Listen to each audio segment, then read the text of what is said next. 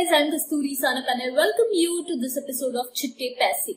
Guys, in the last episode we saw about cryptocurrencies. In the previous episode we saw about the monetary policy. But in this episode we are going to deal with something which is lighter and very basic.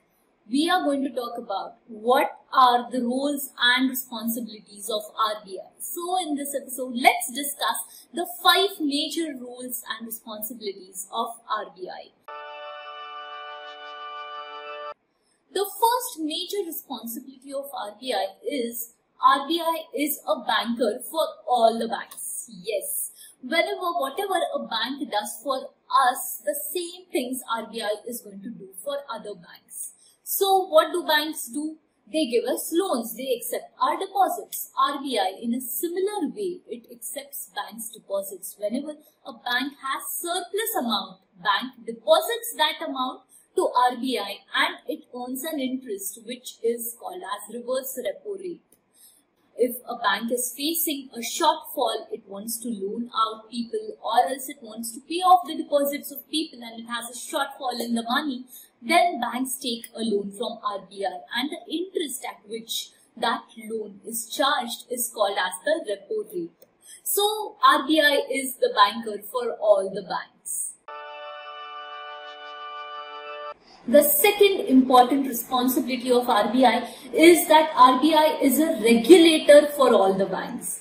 Banking sector is heavily regulated sector and the big boss RBI it oversees all the operation it supervises important transactions it audits the important decisions of banks and it has banking policy in place if at all there is any bank which goes against that policy or if there are certain rules and banks don't abide to those rules which are set by the RBI, then banks have to deal with a heavy penalty. RBI is going to impose a very heavy penalty on banks. So, so it is RBI which looks after bank and we all trust banks so much. Banking, the whole banking system is based on trust and that is because we have a very, very strong regulator in place.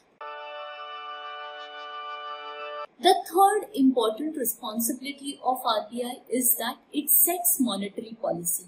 We have covered what is the monetary policy and what were the important takeaways from the monetary policy in a video previously.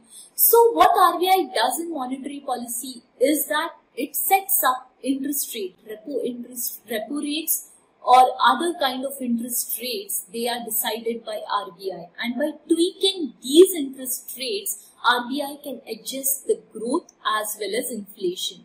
So the major responsibility of RBI is to set up a monetary policy which is going to boost our country's growth.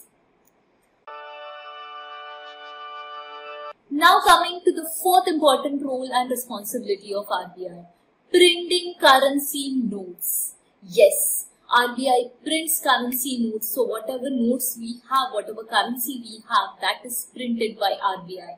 RBI finds out what is the demand of currency notes in the economy and along with the government of India, it prints that those many number of notes. So RBI is in charge of printing notes.